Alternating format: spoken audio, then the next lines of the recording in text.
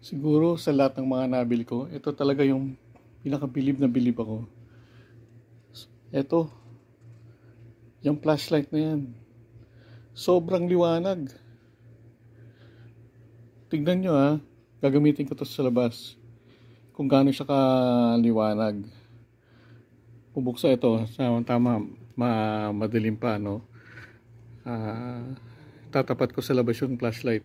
Makikita nyo kung gaano siya kaliwanag, ha? Yan, nakita nyo, ang dilim. Pag binuksan ko yung flashlight, malalaman natin kung gaano to kaliwanag tong flashlight ito. Sige, ah, one, ito yun, no? One, two, three. Yan po, nakita nyo kung gaano sobrang liwanag ditong gamit nating bagong flashlight. Ah, kita nyo, patayin ko muna ulit ha. O, ulitin natin, ulitin natin para makita nyo ng maigi. Ngayon lang, ngayon lang tayo makakita ng ganito kaliwanag flashlight ha. One, two, three. Yan. Ganyan kaliwanag yung flashlight na to.